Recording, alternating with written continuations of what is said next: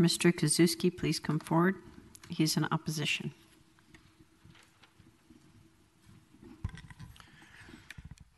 Your statistics are lies.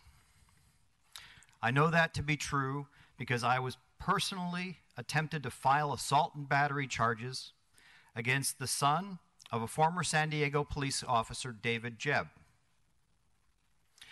Northern Division refused to take to make an arrest or even take a police report. They refused to take a police report.